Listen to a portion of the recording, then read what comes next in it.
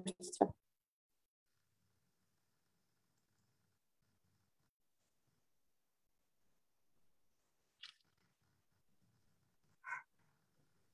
Мы начинаем. Добрый день, уважаемые эксперты, уважаемые зрители нашего мероприятия. Сегодня мы начинаем осенний цикл наших региональных экспертных встреч. И я с удовольствием приветствую всех вас на дискуссионной площадке аналитической платформы kabar.asia. Сегодняшнее наше обсуждение будет посвящено 30-летию независимости стран Центральной Азии, и тема нашей экспертной встречи так и называется «30 лет независимости стран Центральной Азии что дальше. Вот совсем недавно, в конце августа, начале сентября, почти все страны Центральной Азии отметили 30-летие со дня обретения независимости, за исключением Казахстана. Казахстан будет также отмечать эту встречу скоро, 16 а, декабря. И вот уже 30 лет бывшие союзные республики одной большой страны идут собственными путями, живут, развиваются в соответствии с собственными реалиями, о том, какие есть достижения, какие существуют проблемы в странах Центральной Азии за 30 лет, написано и рассказано очень много. Всем нам, жителям этих стран, конечно же, хотелось бы, чтобы достижений было больше, а проблем было меньше, и чтобы они быстрее решались. Но что имеем, то имеем. И сегодня мы не будем говорить об этом, а попытаемся вместе с нашими уважаемыми экспертами проанализировать и спрогнозировать, с какими трудностями и рисками и вызовами столкнутся наши страны в последующие 30 лет.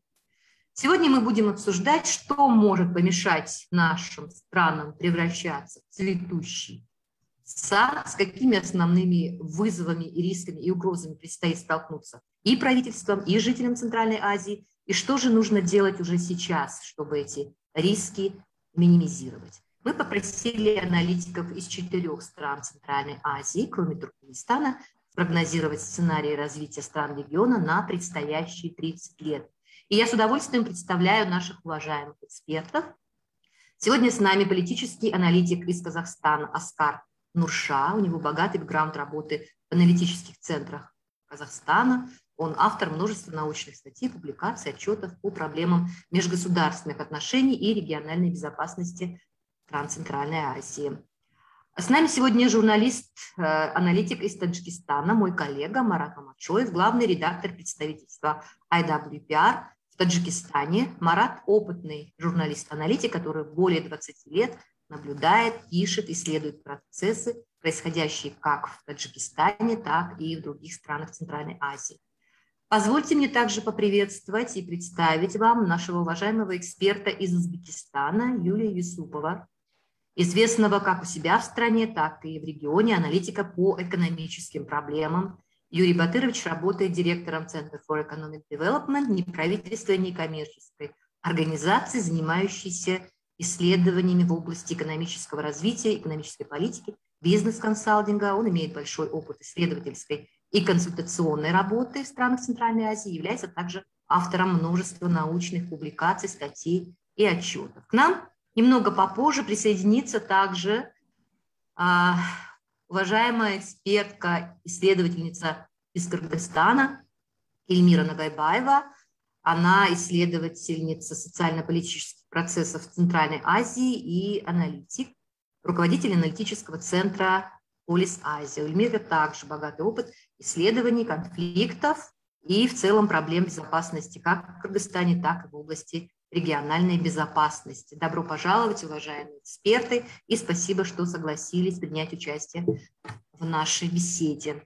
Наша встреча состоит из трех блоков, и по окончании а, этих блоков у нас есть время для того, чтобы участники, зрители нашего мероприятия задали нам вопросы. Они, а, пожалуйста, я обращаюсь к зрителям, вы можете задавать свои вопросы в чат э, этой нашей конференции, в Zoom, и потом мы постараемся ответить на них. Итак, первый блок. Давайте поговорим о каждой стране в отдельности. Первые 30 лет пройдены.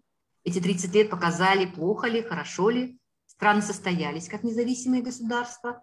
К 30-летию независимости стран Центральной Азии наши государства подошли с определенным багажом, а, как достижений, так и проблем, которые, возможно, будут сопровождать э, эти страны в дальнейшем. И первый мой вопрос к Оскару. Оскар, пожалуйста, расскажите нам, какие главные вызовы, на ваш взгляд, будут стоять перед Казахстаном в ближайшие 30 лет? И что нужно сделать, чтобы уже сейчас их минимизировать? Пожалуйста. А, добрый день, коллеги, уважаемые э, зрители. Ну, знаете, я хотел бы начать с того, что говорят, лучший враг хорошего, да? А, Казахстан пришел с неплохими результатами а, к 30-летнему юбилею своей независимости, но в то же время мы видим, что критика в адрес руководства страны, в адрес правительства у нас не утихает, даже становится жестче. А жестче становится много потому, что люди понимают, что мы, мы, могли бы достичь э, еще большего, еще лучшего. И есть определенный этот, э, такое ощущение некоторых э, потери темпа.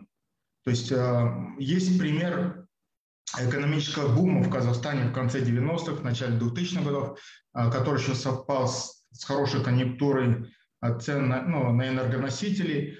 И Казахстан очень бурно развивался в те годы. Он стал он обеспечил себя в какой-то степени, но еще стал выступать в роли донора. Но затем э, всемирный экономический кризис, э, и затем ну, и конъюнктура на энергоресурсы, на продукцию горно-металлургического комплекса, э, все это пошло на спад.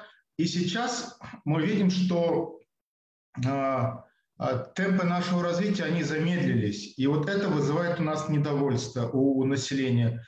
А какие вызовы стоят? Ну, здесь, наверное, общий вызов для всех стран региона – это, а, а, это вопрос транзита. В Казахстане два года назад мы теперь страна не первого президента, да, мы страна второго президента, и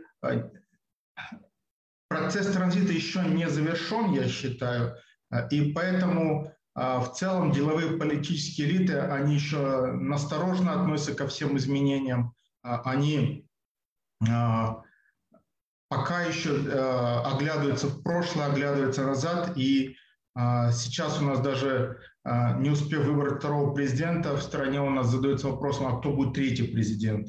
И опять же, э, есть определенная настороженность, есть определенное э, беспокойство. Общество с смотрит будущее.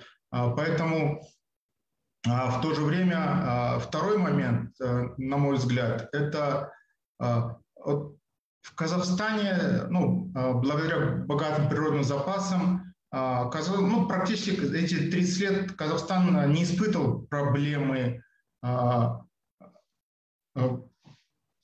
с, как с инвестициями, он не испытывал проблемы недостатка средств.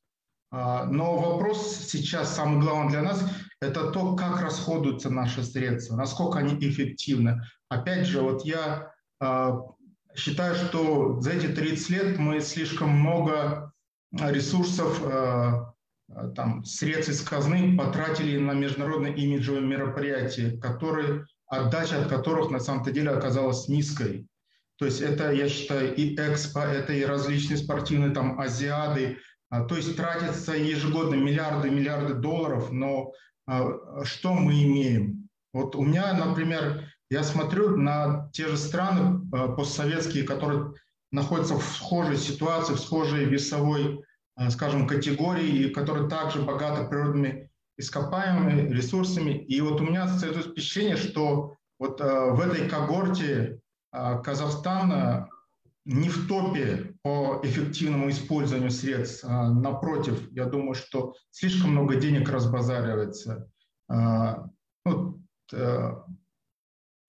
по большому счету, когда мы даем характеристику состояния нашей экономики, у нас часто говорят, больше напоминает именно о бордюрной экономике, когда, вот просто пример, ежегодно асфальтируются одни и те же улицы, которые так э, вылизаны, да, и меняются бордюры, опять же, на одних и тех же улицах, в то время как э, все остальные части города остаются э, там слабо, плохо, ну, это, необустроенными. Поэтому вот это все там, э, если экстраполировать на всю республику, опять же, я считаю, что, что задача, например, Казахстана – это э, развивать свои города.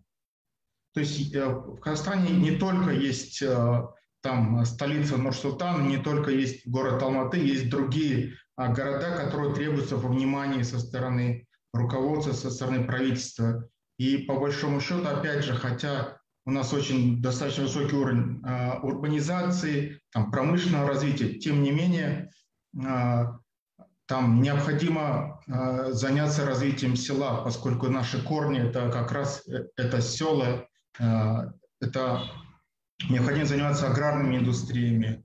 Ну и понятно, еще один момент, такое сожаление, это то, что вот страны Центральной Азии за все 30 лет своего развития а, так и не, а, так и не наладили а, эффективное взаимодействие между собой.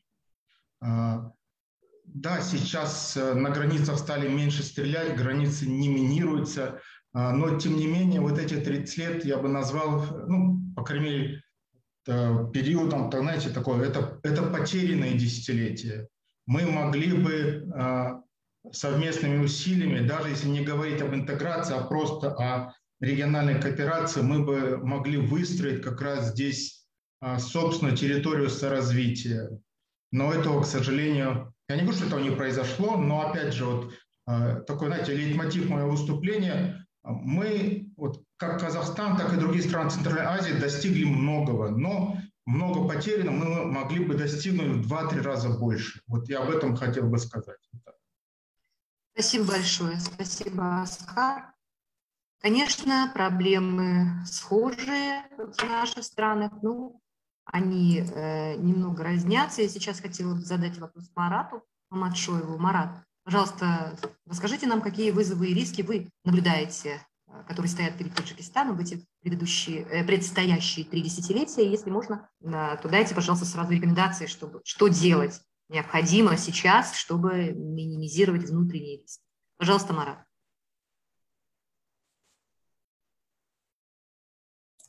Спасибо, Лола. Меня нормально слышно? Да. Так, ну, некоторые из этих рисков, они, можно сказать, долгосрочные, некоторые из них надо решать буквально в ближайшие несколько, несколько месяцев, может быть, лет.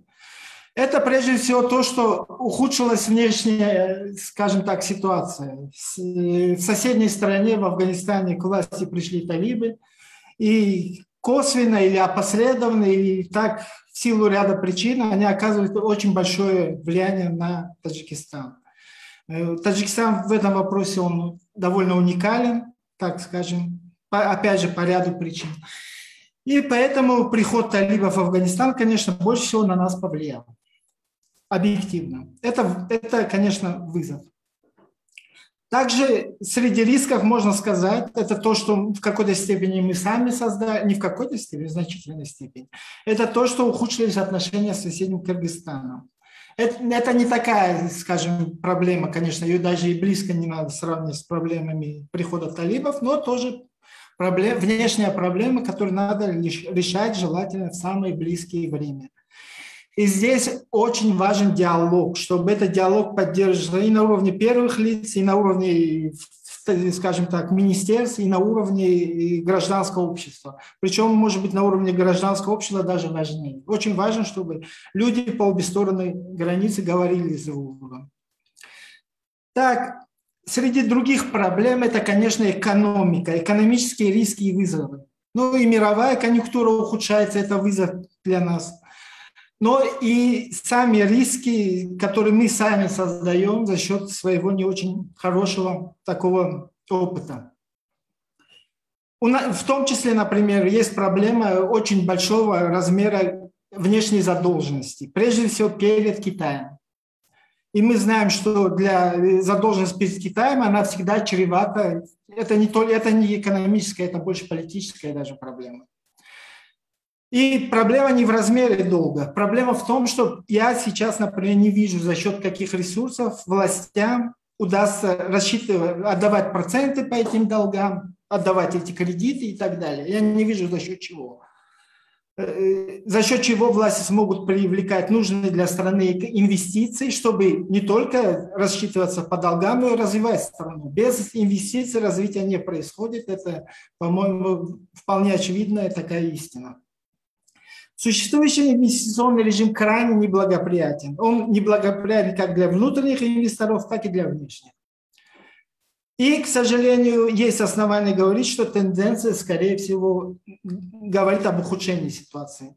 По крайней мере, я не вижу понимания, то, что ситуация довольно критическая, например, сейчас новый налоговый кодекс обсуждается, ну, он на уровне, на грани, скажем так, принятия, но я не вижу, чтобы в нем были отражены вот эти угрозы.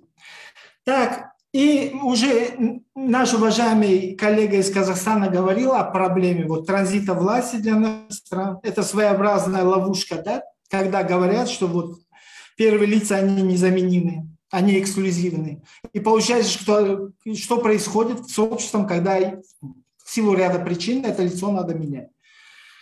Ну, конечно, эту проблему не надо преувеличивать. Мы видим, у нас есть прям рядом примеры транзита, скажем, в том же Туркменистане, в Узбекистане, где транзит произошел без особых проблем. Но все равно для наших стран транзит власти – это всегда риск. Это риск, и тем более, когда есть основания говорить, что внутри правящей элиты усиливается борьба за ресурсы. Так что этот риск, он сохраняется. Так, и, самая, и одна из самых главных проблем, да. Меня нормально слышно? Да, одна минута, Мара. А, да. Э, и теперь я пунктирно обозначу. Стагнация, в которую погрузился Таджикистан, это и политическая, и социальная сферы. Здесь комплексные реформы нужны.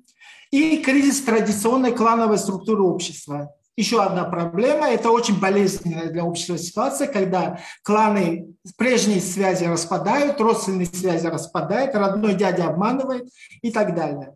Но в то же время тут это тот случай, когда э, есть шанс сдаться гражданскому обществу, потому что гражданскому обществу нужен индивидуальность, не нужен член клана, ему нужен индивидуальный человек. И а, последняя проблема – это высокий уровень миграции, утечка умов и энергии уезжают, как правило, наиболее образованные и энергичные члены общества. И сейчас, к сожалению, для многих граждан Таджикистана внешняя миграция – это один из главных их шагов в планировании собственной жизни. Это все, что я хотел сказать. В общем-то, немного сумбурно. Конечно. Мы видим проблемы, которые существуют, они сопровождают а, и, наверное, будут, как я уже говорила, сопровождать наши страны на протяжении ближайшего времени. А сейчас а, я бы хотела попросить а, уважаемого Юрия Юсупова, пожалуйста, Юлий, расскажите о том, какие вызовы и угрозы вы видите а, для Узбекистана на предстоящие 30 лет. И, если можно, какие действия нужно предпринимать, чтобы решать эти внутренние проблемы уже сейчас? Пожалуйста. Спасибо. Добрый день всем. Я для себя вызовы, которыми сталкивается Узбекистан, я думаю, значит, в разной степени другие страны региона разделил на две группы. Я сейчас а, как бы... Юлий, раз... пожалуйста, немного погромче, потому что мы вас слышим не очень хорошо. Да, поближе к микрофону.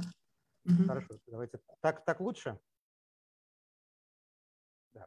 А, Говорите громче, пожалуйста, да. Я постараюсь максимально громко.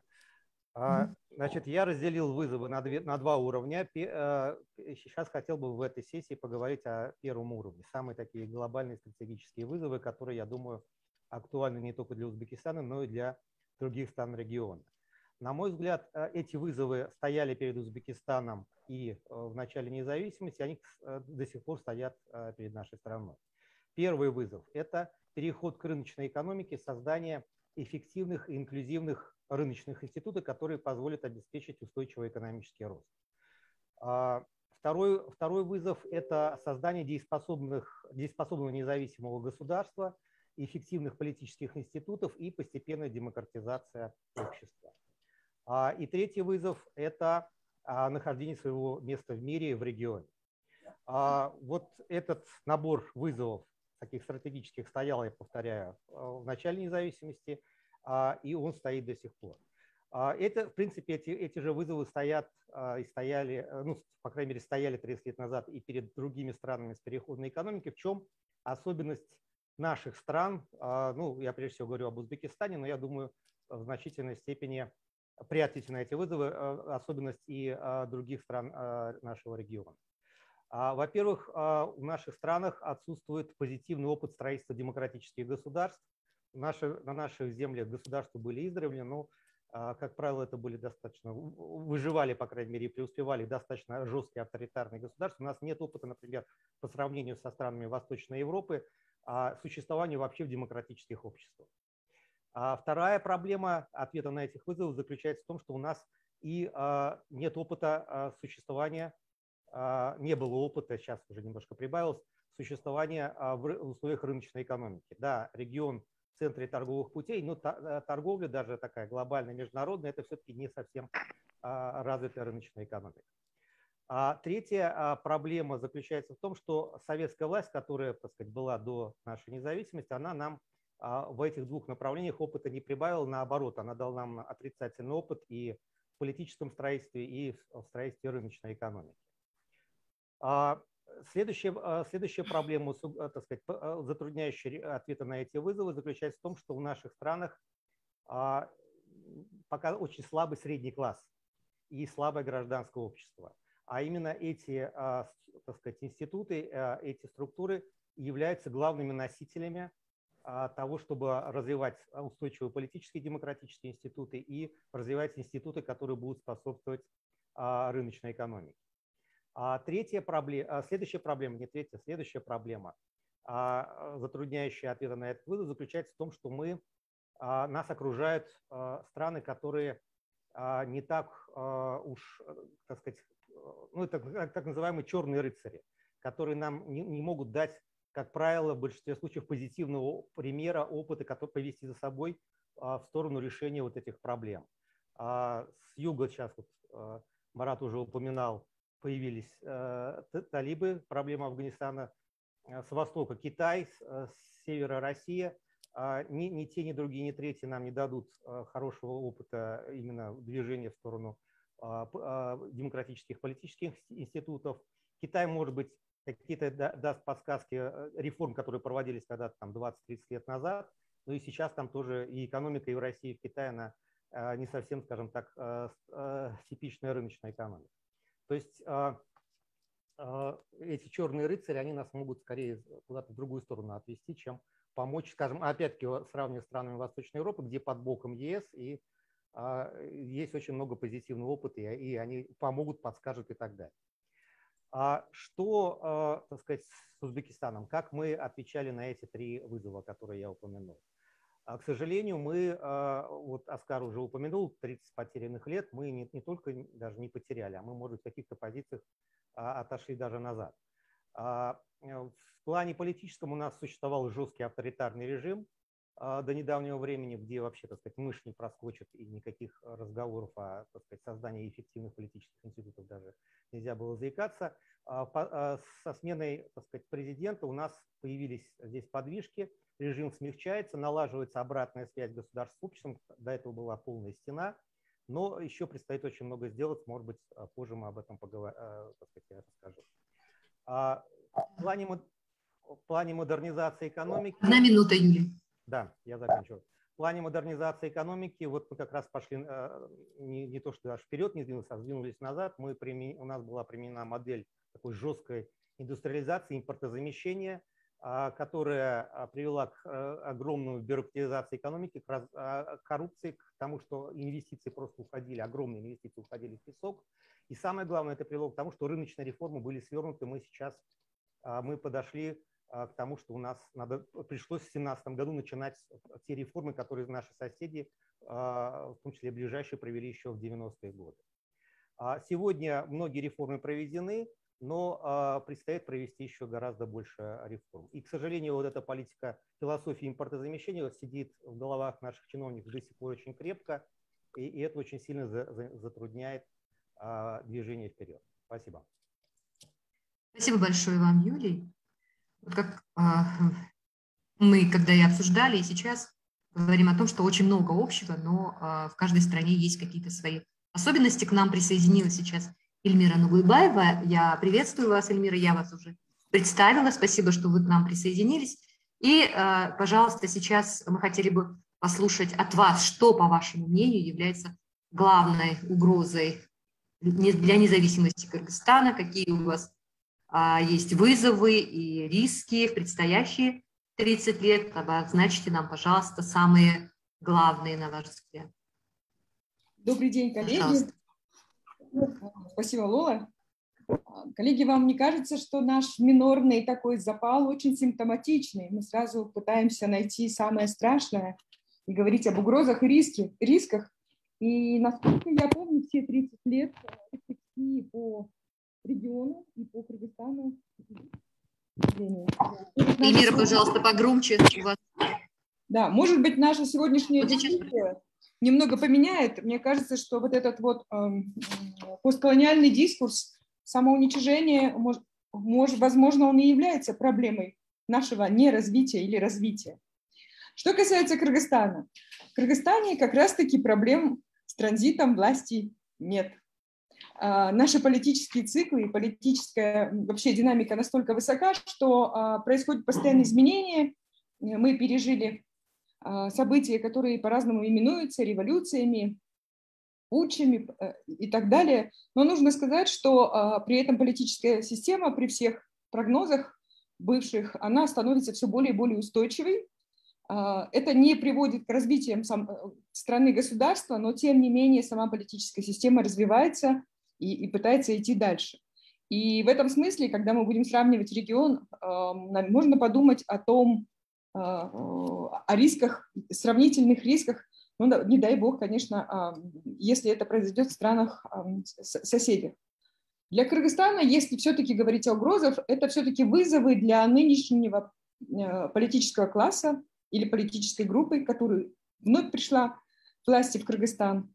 И а, она связана с позиционированием внутри страны, а, с тем, как будет воспринимать общество. Пока, а, пока вот эта вот концептуальная картина будущего и того, что предлагает эта группа, достаточно размыта и невнятна. Но 28 ноября в Кыргызстане ожидаются парламентские выборы. И тогда начнется очередная такая ярмарка тщеславия, и презентации различных партий, которые будут демонстрировать нам а, всю палитру а, концептуального видения. На сегодняшний день есть большой, большой вопрос с качеством управленцев в Кыргызстане, потому что постоянно изменяющаяся власть привела к тому, что вымываются профессиональные кадры, и стоит вопрос а, с профессиональными качествами элиты, и, и это сказывается в том числе на институциональной памяти. И, и, с одной стороны, это хорошо, потому что это ломает некоторую, может быть, такую авторитарную вертикаль, но с другой стороны, мы еще не выработали какие-то новые инструменты. Я бы не согласилась с коллегой по поводу того, что в нашем регионе никогда не было э, попыток трансформации в демократические институты. Я бы поспорила. Мне кажется, что на территории Центральной Азии в разных ее видах в разное время были военные демократии, и разные виды а, того, что мы называем до сих пор а, трайбами и рассматриваем. Трайбы бы не выживали, если бы у них не было а, вот этой самой демократии. Что касается Кыргызстана, у нас все еще есть свобода слова, у нас есть гражданское общество, у нас за последние годы были попытки его сузить, и копировались ряд законопроектов, связанные с свободой слова, связанные с ограничением гражданского общества, МПО в частности, и э, как это будет прививаться и развиваться, мы будем смотреть дальше. Две основные фигуры, лидерские фигуры, которые сегодня находятся в Кыргызстане, это президент и его некогда друг, единомышленник напарник, сегодня представитель а, силового, базового силового органа, уже включ, вступили в новую фазу. Из а, единомышленников мы сегодня можем наблюдать некоторую конкуренцию, которая сказывается на той политике, которую они проводят. А, и это, безусловно, относится и к безопасности. Безопасности внутри страны и по отношению э, к внешним соседям. Про регион мы еще будем говорить. Э, про... Э, у меня есть время, да? Да, давайте я вам еще одну минуту даю, и дальше мы приступаем. Да, у нас пересек... пересекаются и в ваших выступлениях тоже общие вызовы, страновые вызовы. А, акцентируйтесь на вперед. Давайте на 30 лет теперь вперед. Что произойдет? Какие вызовы остаются? Давайте, да, я перехожу в реги- на регион, да, из, из Кыргызстана. А, сейчас, э, давайте сначала я тогда, а потом вы перейдете Все, на регион. А, Спасибо большое. Да, действительно, а, в 30 лет, которые были, и 30 лет, которые предстоят нам, они, а, эти вызовы, риски угрозы пересекаются. Политическая нестабильность э, в одних странах, допустим, авторитаризм в других странах, разные проблемы как во внешней политике, внутренней политике, социальной жизни, коррупция, экология и так далее. Очень много вызовов. Сегодня мы не, не успеем их всех обсудить, но тем не менее есть общие проблемы в регионе. Они часто пересекаются со страновыми. И, но вопрос в том, как каждая страна смотрит на эти региональные вызовы и на какое место в списке приоритетов она ставит. И тут подходы разнятся. Мне бы хотелось услышать от наших экспертов, на их взгляд, какие вызовы являются основными для региона с точки зрения страны расположения. Эльмира, давайте продолжим. А теперь в обратном порядке вы сейчас нам расскажете а, и, пожалуйста, назовите три главных вызова, на ваш взгляд, которые общие а, присутствуют для а, стран региона в ближайшие три десятилетия. Пожалуйста. Первый вызов, он все-таки глобальный. И это, здесь речь идет не только о регионе, о ситуации в мире. И это то, о чем рефлексирует все мыслящее сообщество, это так называемый консервативный поворот. Если мы а, вспоминаем себя 30 лет назад, то мы а, тогда говорили о демократии, у нас был пыл, вера, видение. И сегодня мы понимаем, что ситуация изменилась полностью, часовая стрелка изменилась полностью наоборот. И консервативный поворот – это не э, ситуация только в Центральной Азии, в странах Центральной Азии. Это то, что происходит сегодня в Европе, в Америке, во всем мире – это некоторые откаты демократических ценностей, демократических приоритетов. Это откат ну, в некоторую такую патриархальную среду. И здесь мы должны понимать, где находимся мы и в относительно времени, и относительно географии.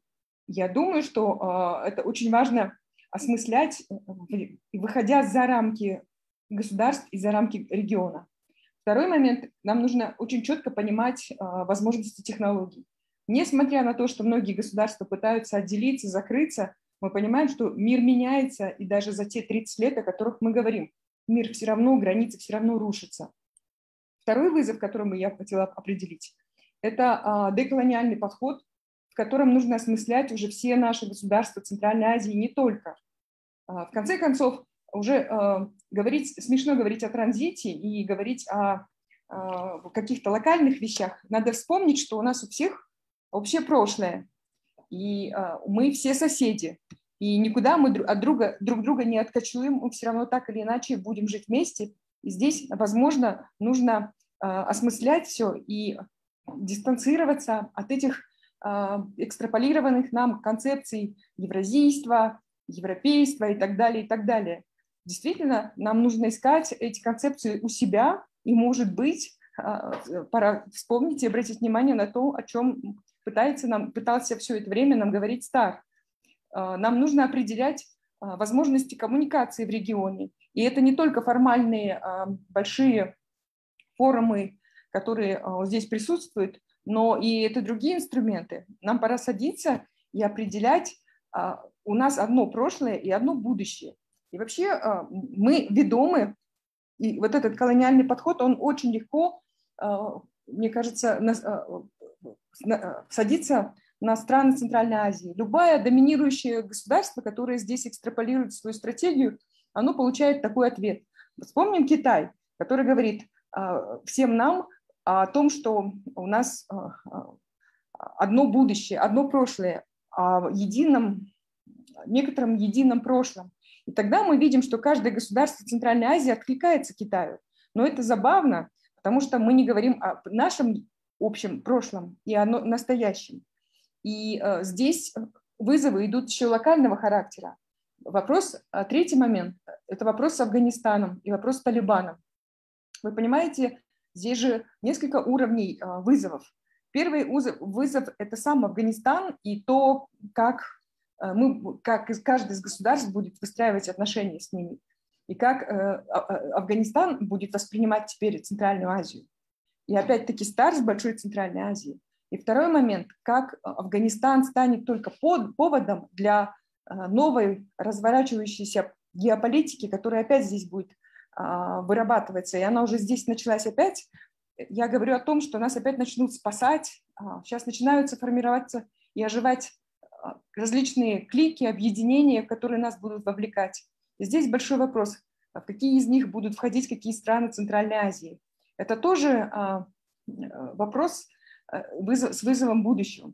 И третий момент, мне кажется, что мы очень часто говорим про государство и про геополитику, но мы очень мало говорим про людей, про наше общество. В Центральной Азии нужно формировать общие, общую, в том числе интеллектуальную среду, рефлексивную среду. Это должны быть центры, которые, в которых бы обучались все представители элиты, интеллектуалы Центральной Азии, которые бы вместе росли, образовывались и строили вот то самое объединение, которые, э, о которых мы, мы говорим. И самое ключевое, самое ключевое слово здесь, на мой взгляд, это соседство. И э, сегодня вышла замечательная статья Сельмур Закуловой об этом. Я всем ее рекомендую прочитать. Спасибо, Эльмира. Мы сейчас в третьем блоке будем говорить о рекомендациях. Вот как раз-таки там можно, а, вы э, уже хорошие даете нам идеи. А, следующий мой вопрос адресован Юлию. А, уважаемая Юлия Батырович, скажите, пожалуйста, назовите, пожалуйста, нам также три общих вызова и рисков для региона, которые могут испортить наше объединение, вообще а, развитие и, пожалуйста, на ваш взгляд, не повторяться. Ну, не, не обязательно эти э, вызовы должны испортить объединение, может быть, они как раз и заставят нас как-то объединиться. Да, пожалуйста, пожалуйста, погромче, потому что вас все-таки слышно. Ну, я постараюсь приблизить. Так лучше? Очень, очень хорошо. Вот так очень хорошо. А, значит, не обязательно эти вызовы должны нас разъединять, наоборот, может быть, они и какие-то из них могут нам позволить объединиться. А, значит, э, я бы назвал э, вызовом номер один – это экология. А, это и стратегический, и тактический вызов. А, ну, на примере Узбекистана я могу сказать, что у нас три ключевые экологические проблемы. Это проблема воды. Мы страшно используем плохо воду, огромные потери воды. И, и в значительной степени это связано не с, с э, как бы внешней экологией, а с нашими внутренними, нашим внутренним неумением наладить ее использование. А второе – это земля. А, а, по крайней мере, по относительно Узбекистана это очень актуально, потому что мы постоянно теряем земли, падает их плодородие, земля превращается в песок, и опять-таки это дело рукотворное, это результат нашей вот экономической политики в значительной степени. А третья экологическая проблема – это загрязнение окружающей среды, ну, особенно это вот касается, там, например, Ташкента, где уже в последнее время дышать нечем. А второй вызов а, – это неразвитость передовых отраслей экономики. А что я имею в виду? Что сегодня в современном мире передовые отрасли экономики? Это наука, э, образование, инновации, информационные технологии, финансовый сектор, медицина, индустрия развлечений, туризм, производство продукции с высокой добавленной стоимостью. И как результат неразвитости вот всех этих передовых отраслей, как соответствующее следствие сильная зависимость от сырьевого экспорта. А это касается практически всех стран. Ну, единственное, Таджикистан, особенно в качестве сырья, нечего почти экспортировать. А все остальные страны очень сильно, если посмотреть на состав структуры экспорта, в основном это сырьевые товары. И, соответственно, любые колебания конъюнктуры на мировых рынках этих товаров сказываются на, а, на, на экономике, так или иначе. А третья такая, скажем так, скорее краткосрочный вызов, ну, который, на который надо отвечать, это сокращение спроса на а, трудовых мигрантов.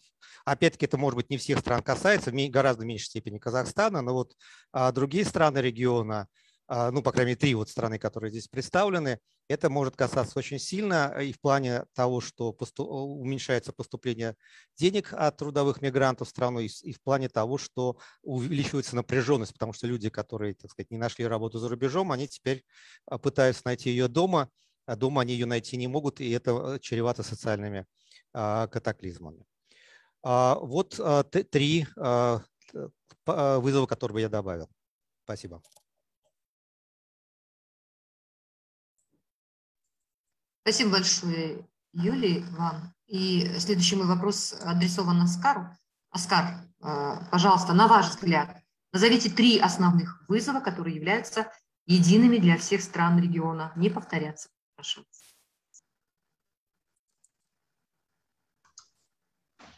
Так, ну самое первое я бы назвал это низкое качество государственного управления. Это касается всех республик Центральной Азии. Вот знаете, вот э, на Западе, да, последние там, десятилетия изучают феномен Китая а, и э, других азиатских тигров, они пытаются понять, э, почему авторитарные страны сделали такой большой прыжок вперед. И ну, возникает такая у них дилемма, да, традици...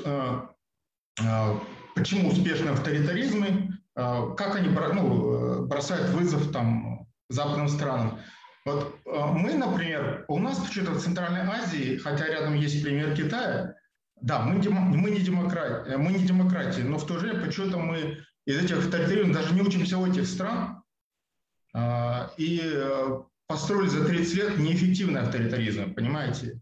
Да, нам нужно идти, поэтому главная функция, вот если мы, то есть это у нас получается вот как в Китае у нас есть, э, в наших во всех странах есть так, знаете, мы успешны в мобилизации ресурсов, централизации.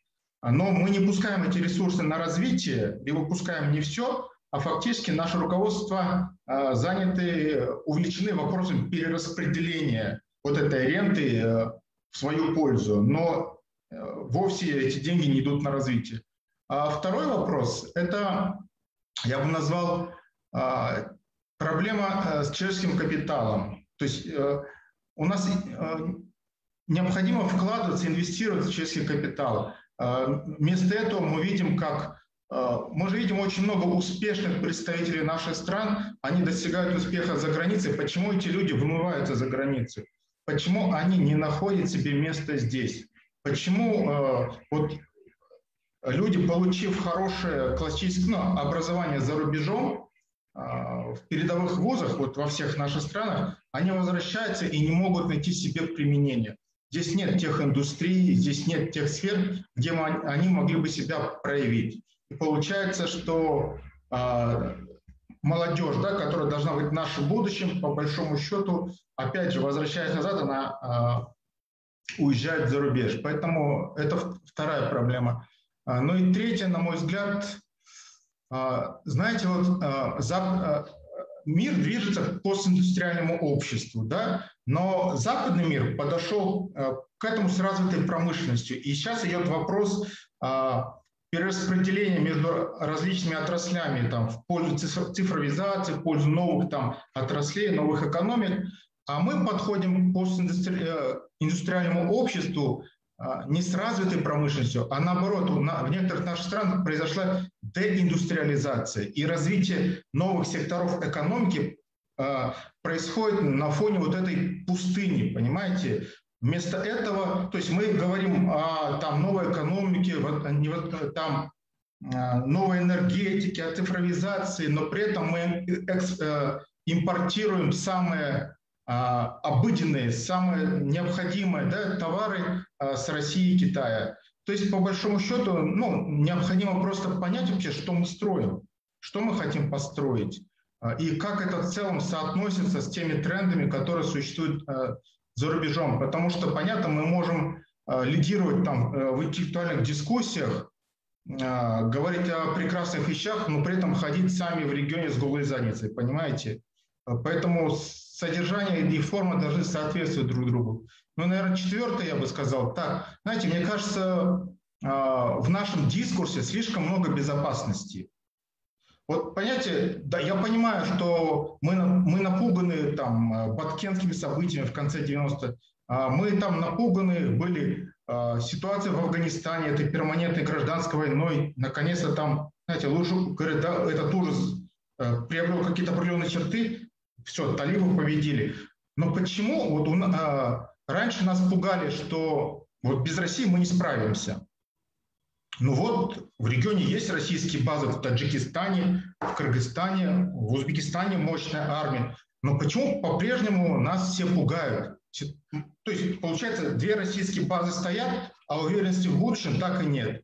А, поэтому, понимаете, надо что-то решать, понимаете, э, надо работать над этим потенциалом противодействия, а, объединять ресурсы, создать некую, знаете, а, ну, Э, местную региональную идентичность, чтобы быть уверенными, наконец, в завтрашнем дне. Спасибо. А иначе, ну, примерно... Спасибо, Оскар. Да, сейчас мы в третьем блоке как раз конкретно будем говорить о том, что надо делать для того, чтобы минимизировать, для того, чтобы нас не воспринимали как развивающиеся страны и так далее. Сейчас я хочу задать вопрос Марату. Марат, пожалуйста, три основных вызова общих региональных для стран Центральной Азии. Хочу услышать от тебя, пожалуйста.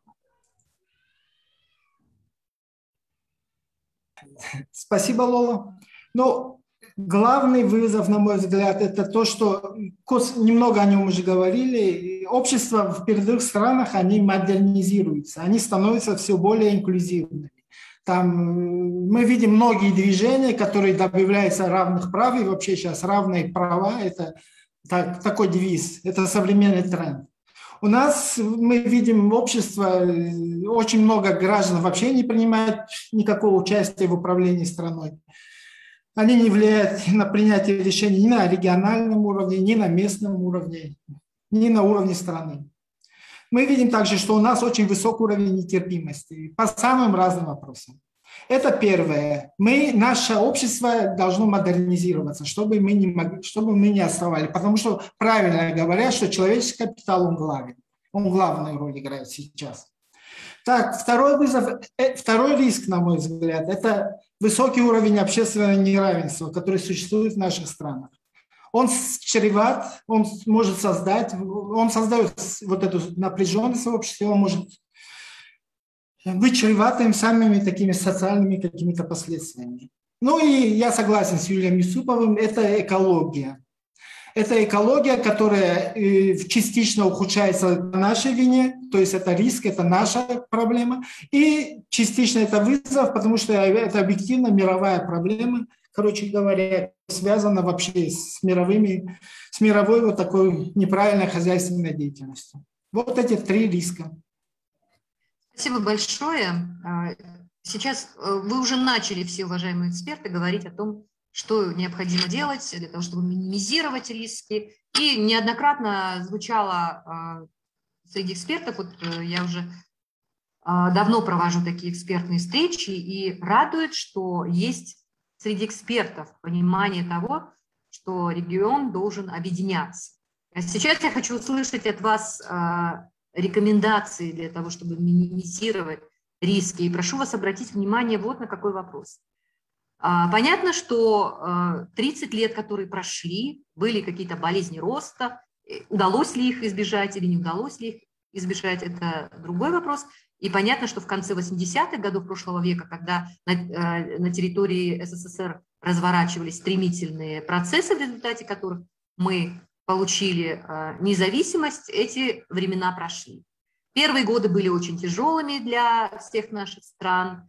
А, где-то вот как в Таджикистане была гражданская война, революции, а, связи экономические разрушились, определялись какие-то формации, в которых мы сейчас как бы живем. Наши страны методом проб и ошибок пришли к сегодняшнему юбилею 30-летия где-то набивая себе шишки, где-то на ощупь получили какие-то результаты. И вот э, как результат сейчас мы живем в независимых государствах, плохих ли, хороших, это другой вопрос. Тем не менее, есть вот пять стран, независимых, как мы говорим, которые э, оправдывали свои вот эти ошибки временными рамками, мол, молодые государства, неопытность политиков и так далее.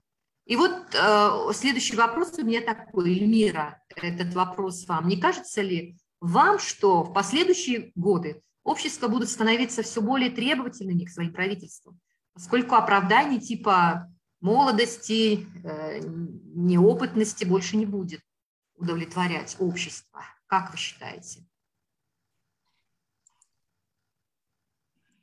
Я думаю, что ваш вопрос – это подтверждение той тезы, о которой вы говорите.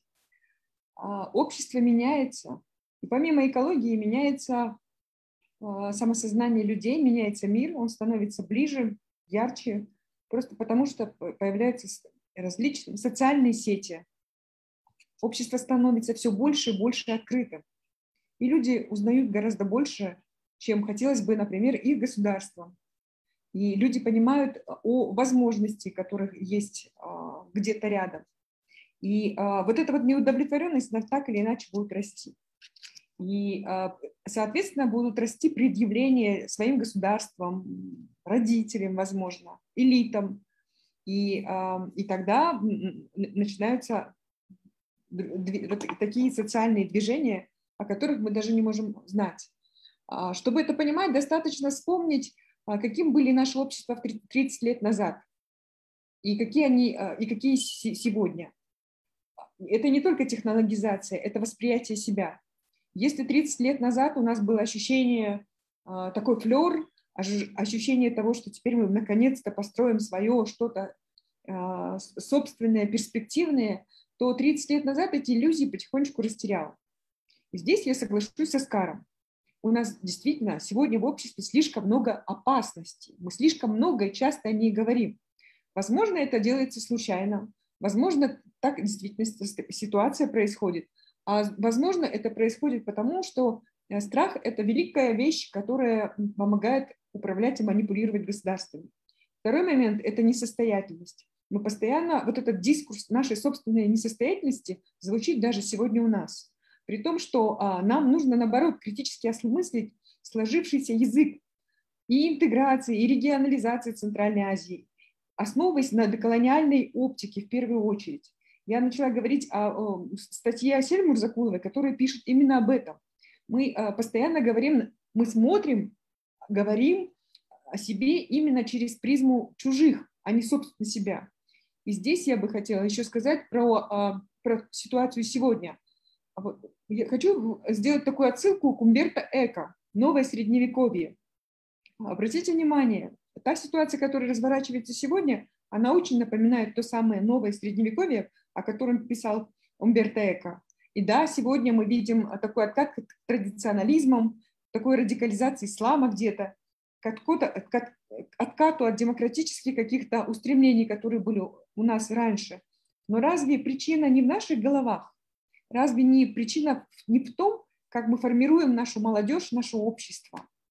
Нам нужно говорить не о государстве, не, надо говорить не о политике. Если мы говорим о будущем, нам нужно говорить о том, как мы формируем наши будущие элиты, которые уже разрознены, которые уже учатся в разных центрах. И я опять вернусь к Умберто Эко. Когда он описывает, как зарождалась единая успешная Европа, он говорит прежде всего о центральных а, точках, вузах, а, о центральных местах образования и культуры, где образовывались все представители разных элит из разных областей городов и государств Европы, где они получали общее образование, общую культуру, и, и учились ценить друг, другу, друг друга. Если мы говорим о Центральной Азии сегодня, нам очень трудно представить даже нашу молодежь сегодня вместе. На каком языке они будут говорить завтра? Я говорю не только об этническом языке, я говорю о культурном и цивилизационном языке. Что они будут ценить? Вот это, мне кажется, главный вопрос для нашего региона и наших стран.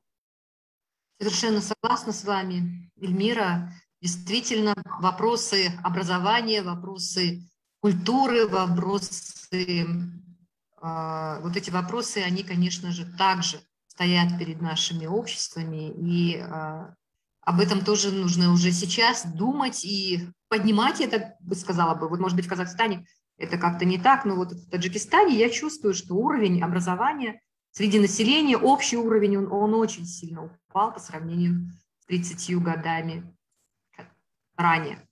А, я вопрос хочу сейчас задать Юлию. Юлии, что, на ваш взгляд, нужно сейчас делать правительством наших стран, чтобы страны вышли из определения развивающейся страны и целенаправленно шли к достижению статуса самодостаточных, развитых и экономически, и политически государств. Пожалуйста, Юлия, что вы думаете? А, спасибо, Лула. А, прежде всего, для того, чтобы вот, э, так сказать, продвигаться в тех направлениях, о которых вы говорите, а, нужна реальная модернизация наших обществ. Во-первых, экономическая модернизация. Ну вот если говорить об Узбекистане, я уже сказал, что мы 20 лет не проводили реформы, кое-что уже успели сделать, но предстоит очень много сделать и в плане приватизации, аграрной реформы, банковской реформы и так далее. Я не буду сейчас на этом а, останавливаться. Но, а, как показал наш опыт а, реформ, который мы проводим уже вот последние несколько лет, а экономические реформы утыкаются после определенного момента в определенный барьер, такой невидимый барьер, куда, когда мы дальше двигаться не можем. Они утыкаются в несовершенство политических институтов. Если у нас ужасная судебная система, а, судьи принимают решения, как скажут сверху, а, или э, по коррупционным так сказать, моментам экономика дальше развиваться не может. Если у нас не, не работает система сдержек и противовесов, разделения властей, сменяемости власти, экономика тоже дальше развиваться не может и так далее и тому подобное. То есть наряду с экономической модернизацией нужно а, осуществлять политическую модернизацию. У нас не, не, не страны Балтии, не Восточная Европа, мы за несколько лет это сделать не можем, поэтому надо говорить о постепенной демократизации. За один год это а, не получится сделать, и даже за 10 лет наверное, не получится, но а, для, нужно а, в этом направлении двигаться. И вот экономические и политические реформы, они в этом плане тоже взаимосвязаны, потому что, на мой взгляд, для устойчивой демократизации а, нужна, нужен очень мощный средний класс. А средний класс появляется как раз в результате этих самых экономических реформ. Тут, тут два, два этих направления, они друг друга взаимодополняют, и их надо двигаться одновременно. А, третье а, направление, которым нам надо двигаться, это то, о чем уже а, несколько раз сегодня звучало, это региональная интеграция. Это именно инструмент для того, чтобы создавать цивилизованные общества в наших странах. А что дает региональная интеграция? Ну, прежде всего, экономическая интеграция, ну и без политической интеграции здесь тоже а, не получится. А, во-первых, если мы создадим единое экономическое пространство, мы станем более привлекательны для инвесторов, и внутренних, и внешних. Потому что одно дело маленькие рынки, Другое дело один большой глобальный центральный азиатский рынок. Здесь я могу приводить очень много примеров, когда инвесторы приходят именно под большие рынки. Пока мы не объединимся, пока мы не объединимся, а, мы, а, так сказать, на большие инвестиции не, не можем претендовать. Во-вторых, а, региональная интеграция даст нам возможности для кооперации усилий в предприятий наших для разделения труда и использования эффекта масштаба. В-третьих, это важный источник конкуренции на внутренних рынках. Например, в Узбекистане рынки очень многие монополизированы, и благодаря интеграции, слому вот этих барьеров искусственных перед импортом, мы вполне можем а, развивать конкуренцию. Ну и последний такой более а, геополитический момент. А, при региональной интеграции мы можем наконец стать какой-то единой силой и уменьшить нашу зависимость от этих вот самых черных Спасибо. рыцарей, рыцарей, которых я упоминал. Мы можем выступать единым фронтом. Спасибо.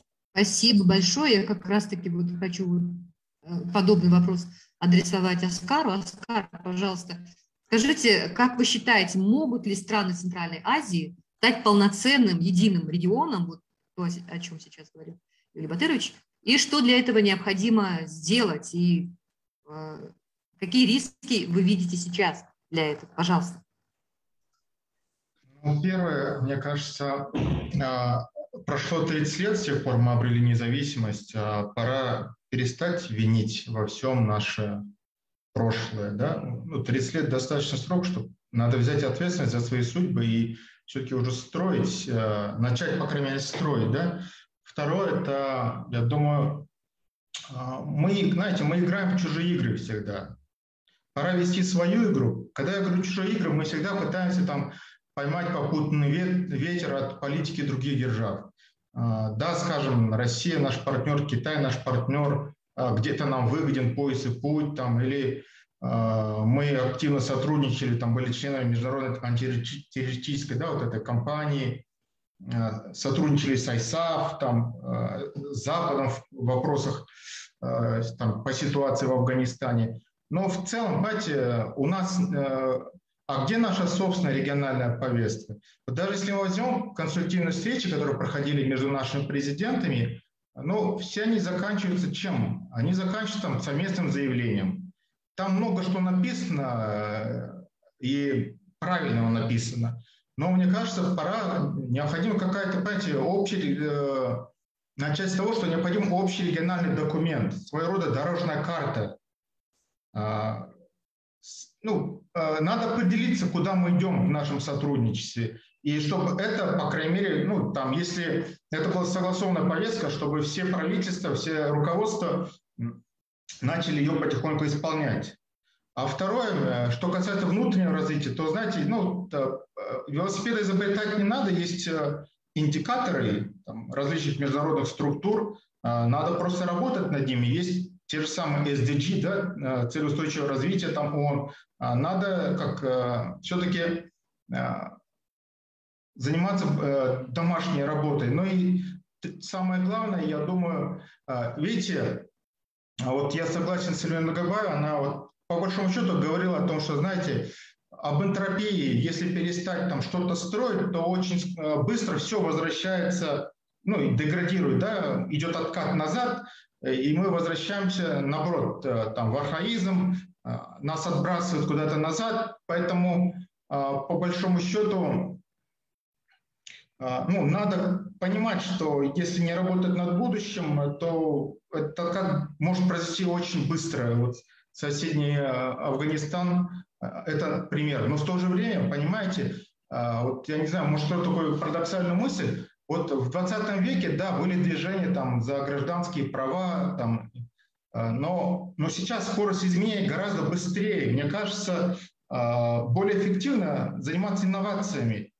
Вот любая инновация, по большому счету, она ускорит развитие этих процессов гораздо быстрее. Вот, например, в период пандемии мы видим, например, сколько много было сделано в Казахстане, и то, что было сделано в плане цифровизации, понимаете, это изменило жизнь общества очень быстро. Мы сейчас живем совершенно в другой реальности, нежели чем при пандемии, и мы даже это не заметили, как мы вот этот э, сделали вот такой э, рывок вперед. Поэтому это определенный пример, надо, мне кажется, задуматься над этим, что, я говорю, путь прогресса, в том числе общественного, лежит через инновации. Ну и последнее, надо верить э, там, в собственных людей и работать над человеческим капиталом. Иначе я говорю, что а, надо, э, понимаете, руководители будущего наших стран, они воспитываются уже сейчас через образование, через семьи. Если мы упустим этот процесс, то в будущем мы просто воспроизведем те же самые общества, в котором мы живем сейчас. Благодарю за внимание. Спасибо. Спасибо, Оскар.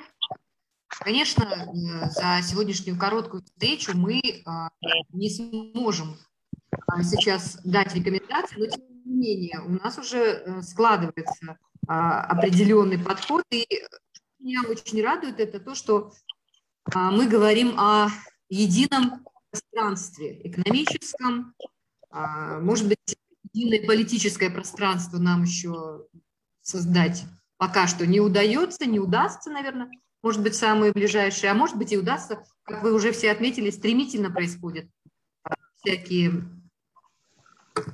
трансформации на территории э, как всего мира, так и в странах Центральной Азии. И мне бы сейчас хотелось задать вопрос Марату. Марат, что можно делать в первую очередь, чтобы страны Центральной Азии воспринимались не как э, зависимые политики игроки, зависимые от э, основных игроков, от России, Китая и так далее. Пожалуйста, что, на ваш взгляд, можно сделать сейчас?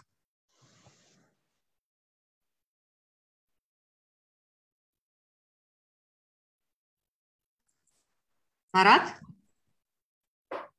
Да, я согласен с тем, что у нас очень много говорят о безопасности. Есть в семье. Вы слышите? Вы меня слышите? Сейчас слышим, да, пожалуйста. Нет? Я согласен, что напишите мне, если будет проблемы с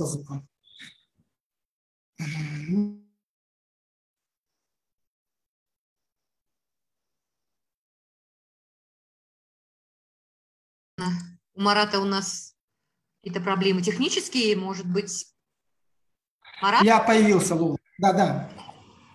Я, у меня возле меня несколько сразу источников интернета, и все они барахлят. Это Таджикистан. Так, я согласен с тем, что у нас очень много в нашей стране говорят о безопасности. Есть всемирные исследования, где говорится о том, что быстрее развиваются страны, где меньше говорят о безопасности, а больше говорят о развитии. Это, в общем-то, такой тренд современный. Ну, коротко я скажу, что нам нужно сделать ставку на внутреннее развитие, чтобы нас уважали. Нам нужно создать, других рецептов нету. Успешных я не вижу. Велосипед действительно не надо изобретать. Нам нужно, многие проблемы являются следствием монополизации. Та же коррупция, о которой нам сейчас вот задали вопрос в чате. Коррупция – это тоже следствие монополизации. Надежды на авторитаризм они уже себя исчерпали. На одного, скажем, авторитарных правителей, которые ничего не делают для развития экономики, для развития собственных стран. Нашим странам коротко нужна конкурентная политика, конкурентная экономика, нужна конкуренция идей. Вот это все, что я так коротко могу сказать. Спасибо большое. Спасибо, Марат. Э, да, вот у нас в чат сейчас уже э, задали вопрос, почему никто не говорит из, про коррупцию. Коррупция, конечно же, сейчас это самый основной вызов, и э, страны, зная о том, что это один из вызовов, тем не менее, каких-то особых действий со стороны правительств, которые сейчас есть, э, не предпринимают это очень большой вызов и проблема, и а, как ее решать? Э, никто не ставит приоритеты сейчас а, борьбу с коррупцией. Ну, вполне вероятно, что мы продолжаем видеть э, болезни роста, и э, коррупция, она так остается. И во всех практически странах постсоветских это один из самых больших вызовов. Спасибо большое, уважаемые эксперты. Я сейчас да, я сейчас, э, может быть, кто-то из вас еще что-то хочет высказать по поводу тех вызовов и что с ними необходимо делать, потому что вопросов в чат у нас пока что больше нет. А можно вопрос? Да, пожалуйста. А, Вы, Дамир, написали бы. Ну, хорошо, давайте. Да. Здравствуйте. А, меня слышно, да? Да. А, у меня вопрос к спикеру из Таджикистана и Кыргызстана. А, каков, а, каков характер и масштабы а, радикализации ислама среди молодежи вот в ваших двух республиках? Спасибо. Я думаю, Эльмира начнет, а я продолжу. Мне это знакомо. А, Дамир, спасибо за вопрос. Когда вы говорите характер радикализации, вы имеете в виду что? Вы имеете в виду проценты, статистику или, или оттенки? И, во-первых. Во-вторых, мы должны понимать, что а, мы опять говорим об опасности. Мы опять говорим о... Мы опять ведомы в этом дискурсе, потому что мы говорим о, о опасности. Вообще, вы обратите внимание, вот этот термин «исламизация» меня, наверное, он очень пугает я не знаю, как в ваших странах, господа, в моей стране более 99, ну около 99% людей разделяют ислам. И э, говорить э, это вот в одном контексте, наверное, нужно уже с опаской. Что говорить про молодежь? У нас, я уже заранее э, до этого говорила про консервативные повороты, и он идет по всему миру. И в, в, в Центральной Азии, в Кыргызстане в частности, да, у нас очень сильно происходит э, исламизация государства – я сейчас не буду говорить о процентах по регионах и по социальным а, каким-то а, стратификациям, но я могу сказать, что вот у нас сейчас период накануне выборов, и уже появляются политические партии с религиозным подтекстом. Э, там, например, вторая супруга и так далее. То есть э, потихонечку продвигаются нормы, которые заложены, например, в нормах шариата.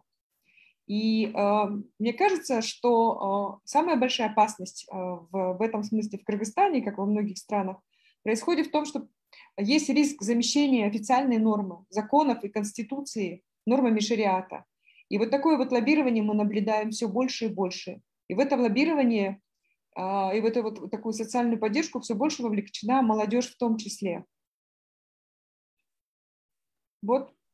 Да, спасибо, Эльмира, вы ответили. Я думаю, на вопрос происходят эти процессы, мы их наблюдаем. Марат, пожалуйста, о Таджикистане. Ну, и такая проблема, да, существует, но опять же, я бы не стал бы ее преувеличивать.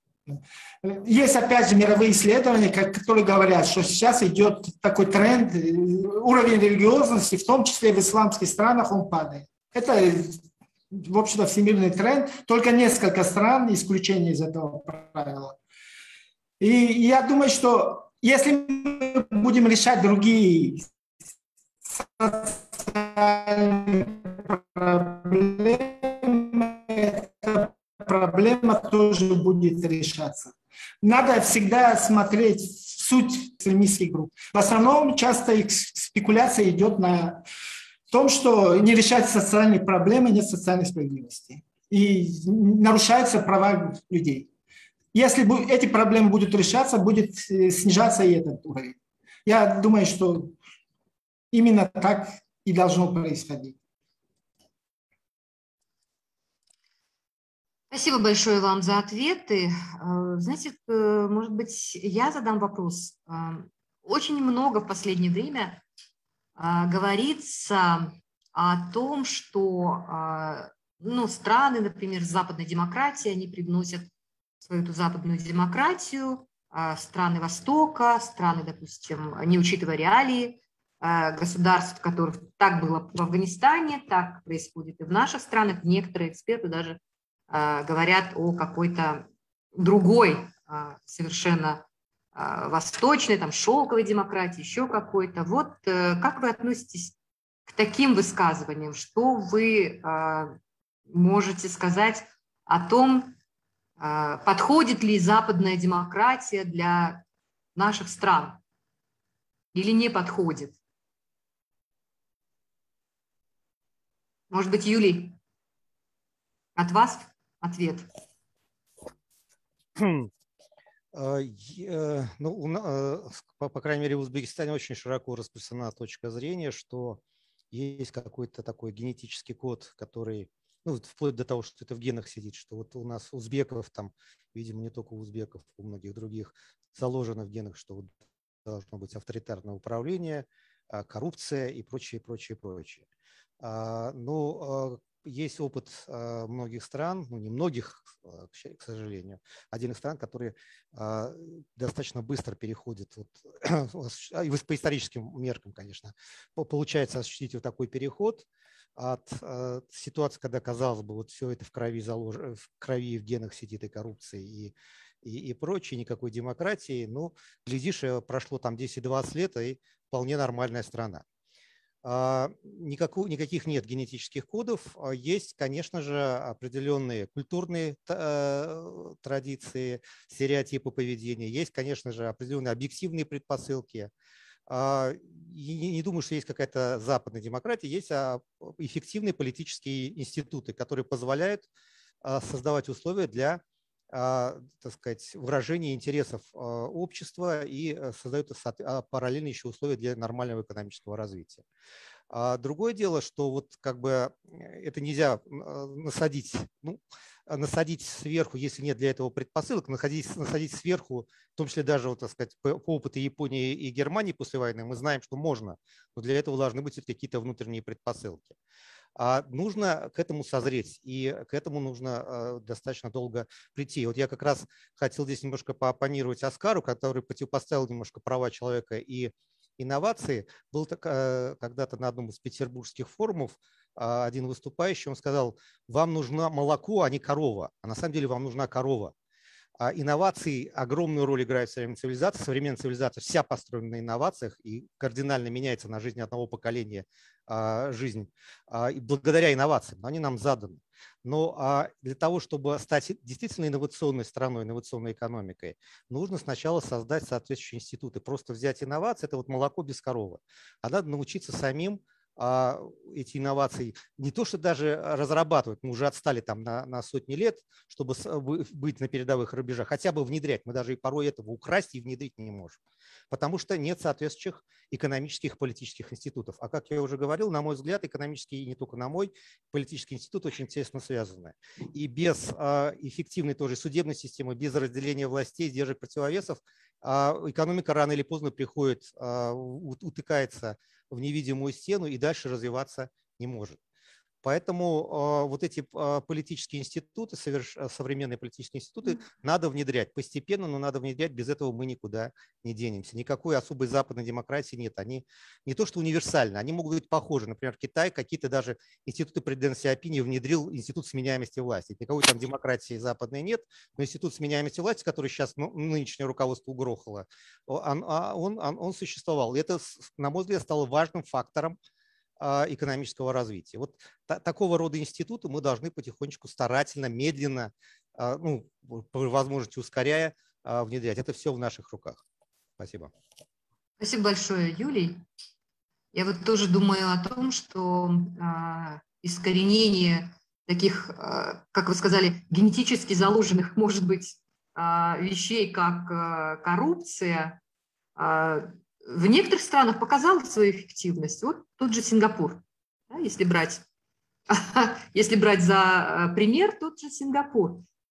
А, спасибо большое. Эльмира тоже ответила на этот вопрос э, в чате, насаженный ориентализм. Ну, вполне, вполне допускаю. И вот у нас вопрос от э, пользователя по имени Сулейман. Он говорит, что было сказано, что хотя 30 лет прошло, но все еще не наладились отношения между странами а, в разных отношениях. Можно ли сказать, что в этом виноваты сами правящие элиты? Мы говорили об элитах тоже. И, например, можно сказать, что а, для того, чтобы закрепиться самим и получить поддержку общества, отвлекать от существующих проблем, они ищут врагов или недоброжелателей, и это оставляет след, хотя и проходит много времени. И заинтересованы ли эти элиты, чтобы регион Центральная Азия – развивался совместно. Ну вот вопрос об этом у нас тоже звучал. Ведь для них есть риск потери власти, потери статуса, и есть риск, что э, те или иные действия или правонарушения во время нахождения власти их привлекут к ответственности. Ну вот на примере Кыргызстана мы видим, что привлекают к ответственности. К сожалению, вот, ну, не знаю, в наших странах мы пока не видели того, чтобы привлекали к ответственности. Эльмира, может быть, вы ответите на вопрос Сулеймана в чате. Виноваты ли политические элиты? А, про ответственность, все понятно.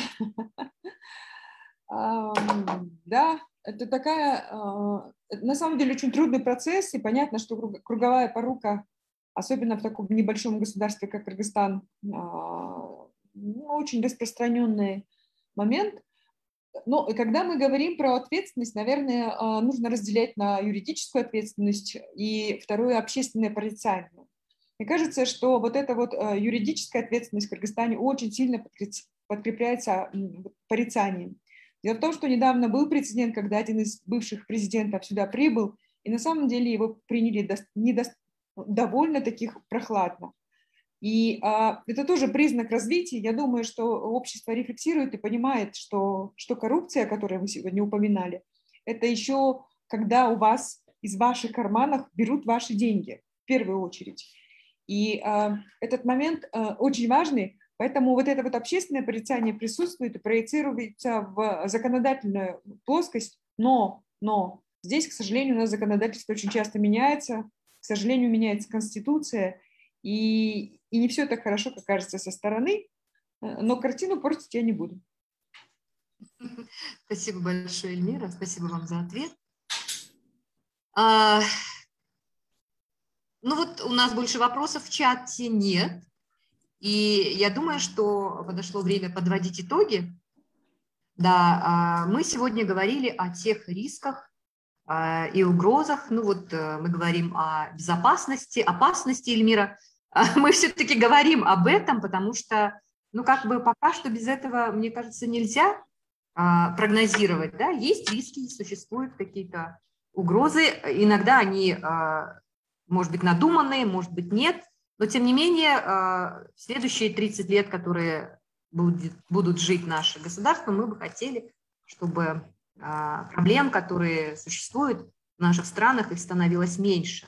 И я еще раз подчеркиваю, что меня очень радует и мне импонирует, что многие эксперты говорят о том, что необходимо объединяться, потому что каждая страна в отдельности испытывая свои какие-то трудности, она не может решать большие проблемы, которые стоят перед регионом в целом. Спасибо вам огромное э, за вашу экспертизу, спасибо за участие в нашей сегодняшней встрече. А, я хочу напомнить нашим уважаемым зрителям, спасибо им также за их вопросы, что сегодня с нами а, на вопросы наши отвечали эксперты из Центральной Азии, из Казахстана Аскар Нурша, из Бишкека Эльмира Нугайбаева, Юлий Юсупов из Узбекистана и Марат Мамадшоев из Душамбы. Модерировала обсуждение я, Лула Алимова. А больше аналитических материалов на эту и на другую тему, по другим темам, волнующих жителей Центральной Азии, вы можете найти на нашем аналитическом портале по адресу www.kabar.asia. Спасибо вам большое, что были с нами и до новых встреч. Спасибо, до свидания. До свидания. Спасибо, до свидания.